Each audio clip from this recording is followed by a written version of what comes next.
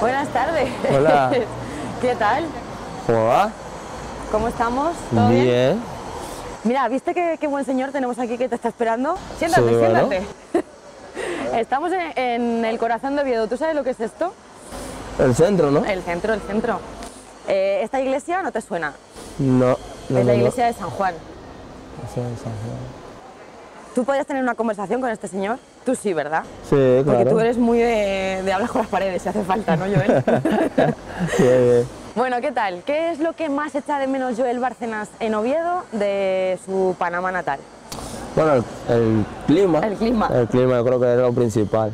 Sí, porque pues no estaba acostumbrado a, este frío y en Panamá, como ustedes saben, un, un clima tropical. Así que yo creo que eso es lo que más extraño, además de la comida. Y la comida, normal, eso es lo que extraña a todo el mundo, ¿no? Esa chupa tan bonita que llevas, esa cazadora que es del Oviedo, venga, acompáñame, que hoy vienes bien abrigado, vamos a dar un paseo. Bueno, A ver qué nos cuenta la gente. Es bonita, ¿eh? sí. La tienda, ¿no? Te has pasado por la tienda y la has cogido. Ah, bien. Oye, eh, vaya golazo. Ha dado la vuelta a España y me imagino que a Panamá también, ¿no? Porque Muy contento, más que todo por la victoria. El gol pues, puede venir, pero yo creo que es más importante sacar puntos. Saben que la liga es difícil y entre más puntos tengamos va a ser mejor. eh, es una jugada en la que Joel Bárcenas coge el balón, no se lo piensa mucho y le pega. Bueno, ya, ya había tenido una de tiro libre y, y, bueno, estaba como con esa gana de, de- de patear al arco y luego me quedó ahí. Aproveché al máximo y bueno, como lo dije en la entrevista, salió un golazo. Golazo. ¿Qué es lo que te dice la gente? Porque cada vez que nosotros subimos eh, una foto a Instagram, eh, una imagen tuya un GIF, ahora tienes uno muy chulo, eh, muy tu rollo, ¿no? Haciendo así. eh, nos llegan muchísimas banderas de Panamá. Ese cariño que nosotros sentimos, eh, lo sientes tú también, me imagino, ¿no? No, es una locura. claro. Sí, sí, sí, me siento, eso me hace sentir muy bien porque tan pendiente de, lo que hace un jugador de, la selección de Panamá y de alguna manera me, me- da un ánimo en algún momento que me pueda sentir mal. Yo creo que, bien, eso me gusta, que estén pendientes, que anden interactuando con, la página del Oviedo y, nada, me siento, me siento bien por eso, porque como te lo dije, es algo que, me llena de- mucha emoción. Eh, Joel Bárcenas llegó a renunciar a una convocatoria con Panamá por dos. eh, quedarse eh, con el Real Oviedo, en además en una serie de partidos a comienzo de temporada que eran importantes, estaba el equipo arrancando, te perdías tres partidos y te ibas. Eh, yo creo que en tu país se entendió muy bien y que eso a ti te tranquiliza, ¿no? El hecho de decir, eh, me siento comprometido con, con el proyecto en el que acabo de empezar y necesito ayudar al equipo, ¿no? ¿Fueron dos? Sí, la del derby y la del inicio de temporada. En el inicio de temporada más que todo por la adaptación.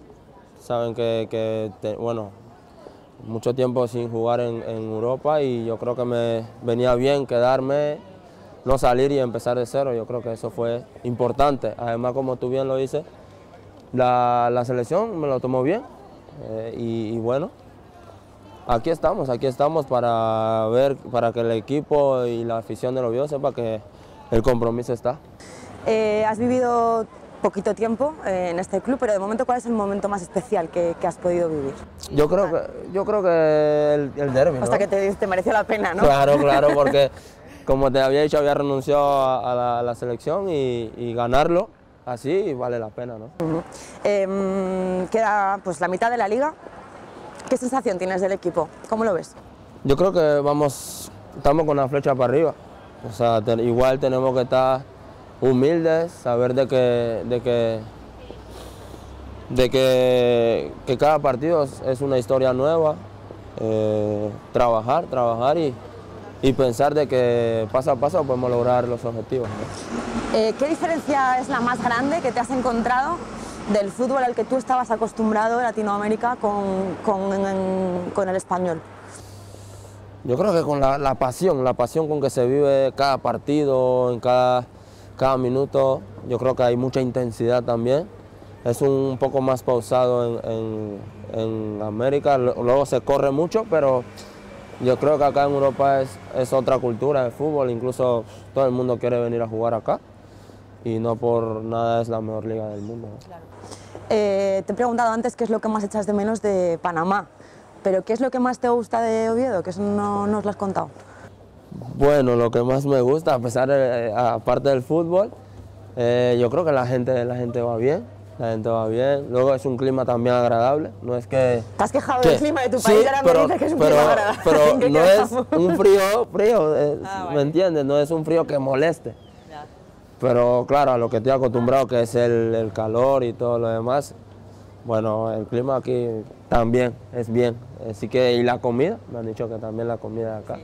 ¿También te gusta? Claro, yo sí me gusta comer, Bueno. es lo que más hay. En tu tiempo libre eh, te gusta eh, pasear por esta ciudad bonita que tenemos. Supongo que a tu chica también le gustará ir de compras de vez en cuando. Sí, depende mucho de, de lo que ella diga. Yo Ah, creo que sí, ella dice que vamos a pasear y bueno, vamos a pasear. Pero el rato libre la mayoría de veces estoy en casa. En casa Sí, y le metes un poco a los videojuegos, ¿no? Claro, también le meto mucho al- a la PlayStation. Bueno, pues tendremos eh, cositas de las que hablar próximamente de ese tema, ya te las contaré. Hemos dado un paseo por todo el centro, eh, las calles así, bueno, mm, todo el centro no, porque la gente se va a pensar que esto es el centro de Oviedo completo, no, nos ha dado tiempo, es un poquito más grande, pero vamos a terminar el recorrido eh, en un lugar especial y te voy a contar una historia que te va a gustar. Bueno, ¿Sabes lo que es esto? Mm, no, no tengo Bueno, idea. pues es una estatua que se inauguró hace poquito tiempo. Eh, aquí, justamente en este lugar, se fundó. ¿El equipo? ¿Sí? ¿Has visto? Esto no lo sabías. ¿eh? No, no, no, no. ¿Nos lo lees para la gente que nos está viendo? En este lugar, en la sede del diario La Voz de Asturias, se fundó el Real Oviedo el 26 de marzo de 1926. A trabajar, pues, bien unidos, perfectamente compenetrados y dejando en el rincón del olvido cosas que por lo mismo que fueron ya no son ni deben volver. Oviedo, por todo y ante todo, ese debe ser en adelante nuestro lema. El Real Oviedo, el 26 de enero de 2016. Se inauguró el 26 de enero de 2016. ¿Te ha gustado la de Oviedo por todo y ante todo? Es bonita Sí, esa frase. ¿eh? Está muy buena.